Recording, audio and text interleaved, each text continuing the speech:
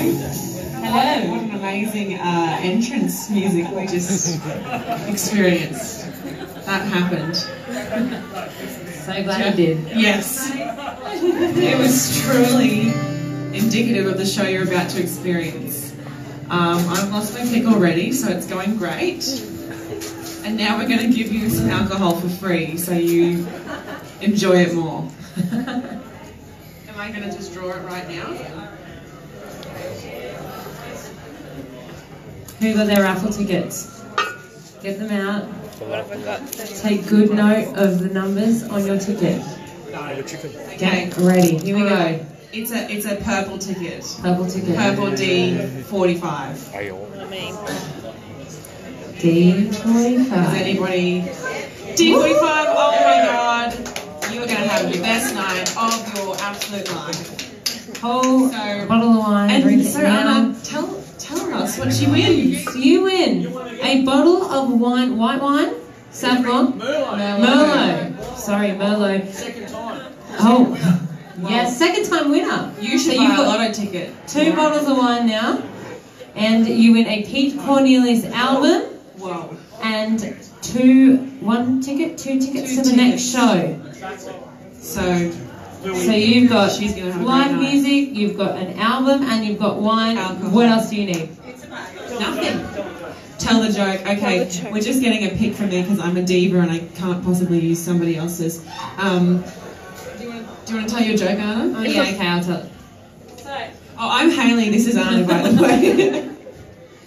So, um, this man, this boy, he's in year 12 and he's going to the formal. If you're from Queensland, you call that a prom. You call it prom.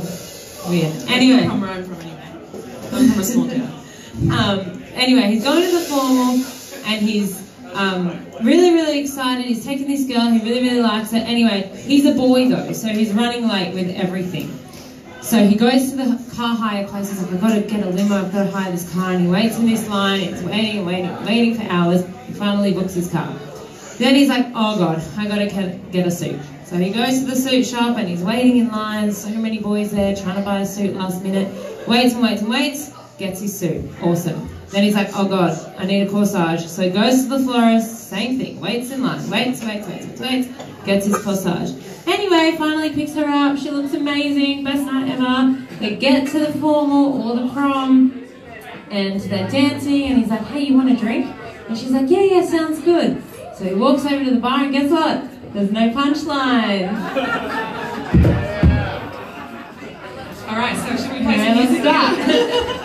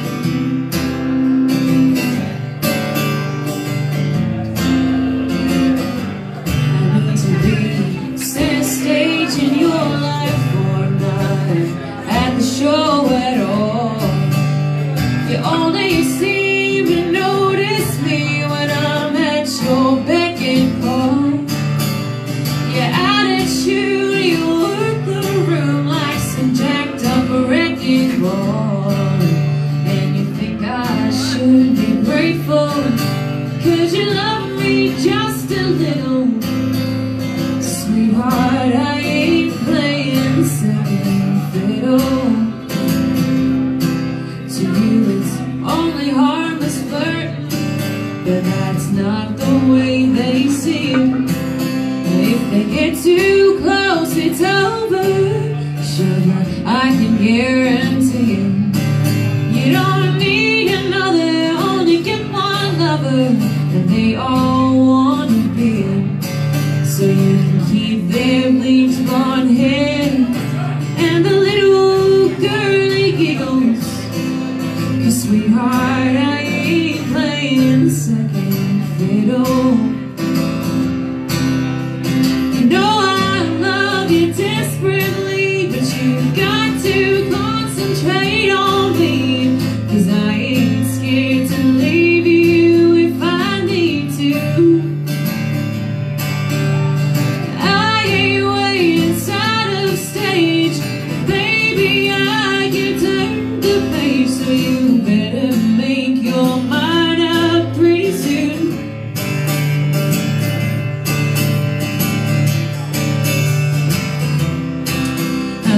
fiddle solo goes. So if anyone would like to do some uh, mime fiddling, it's your time to shine. Oh yes, honey, get it.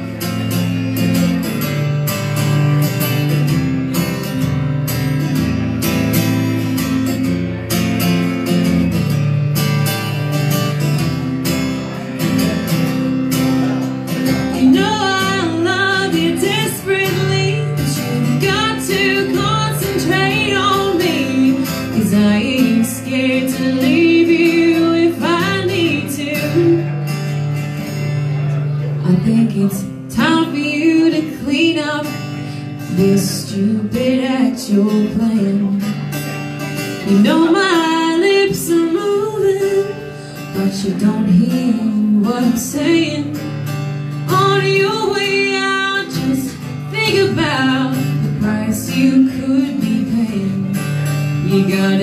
here on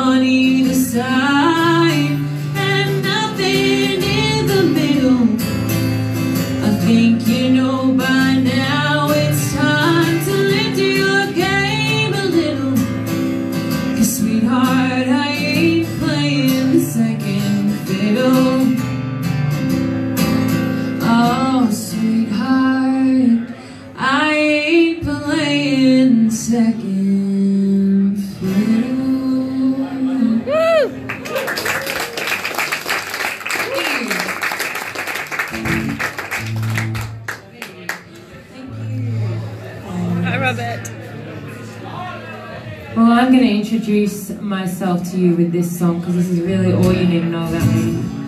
I wrote this on the kitchen floor one Saturday night with my 12 kilo orange cat. And I promise you it's 12 kilos. I've got photos. If you don't believe me, I will show you photos.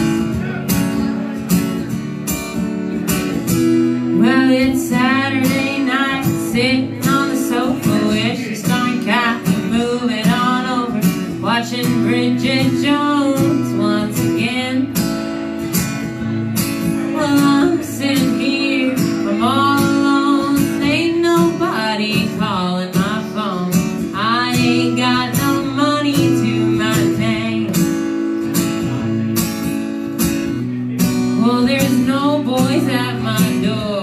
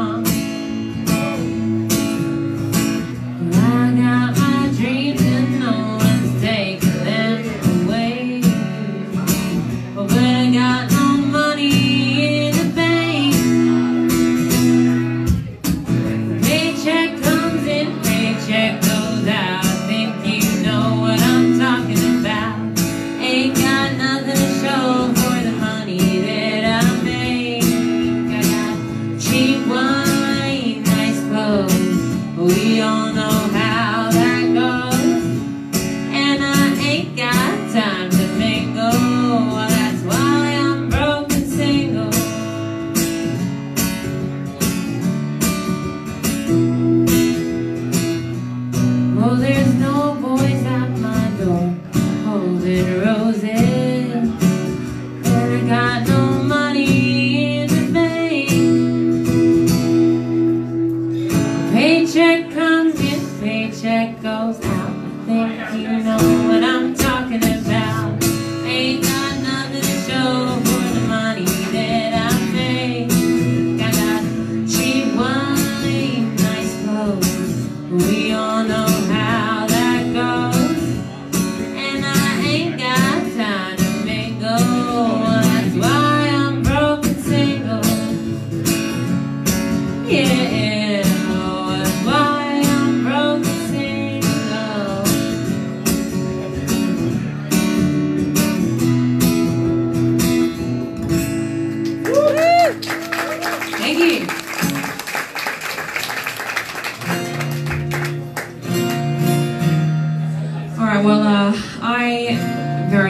Excitingly are, am at, we're, I can't speak. I'm too excited, actually. That, that's the level I'm at. I'm actually writing for my debut album right now, which is very, very exciting. Um, and like the other part of it is just really worrying that I'm never going to write anything good again. But conveniently, in this two-year period that I've been writing for this album, I've gone through two breakups. So a lot of uh, inspiration for country music. I've really done myself a solid there, I think. and also conveniently, they both had the same name, so now I could just name drop in a song and they won't know who's it, who it is about. So, stealth, fight it out to the death. No, I don't think they really care. Um, I guess we'll find out when the record comes out. I'll come back and tell you.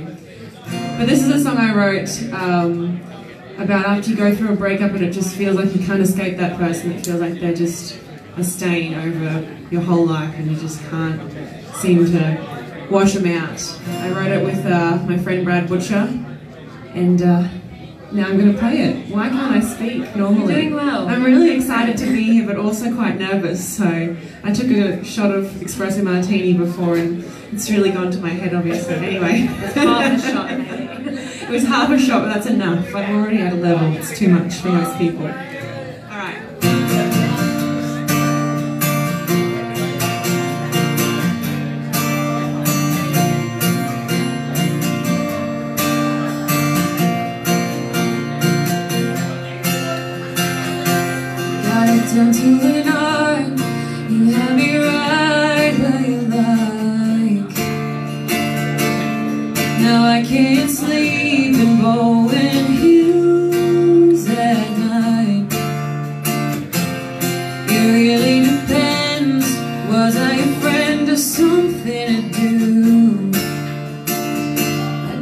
Think you were lying.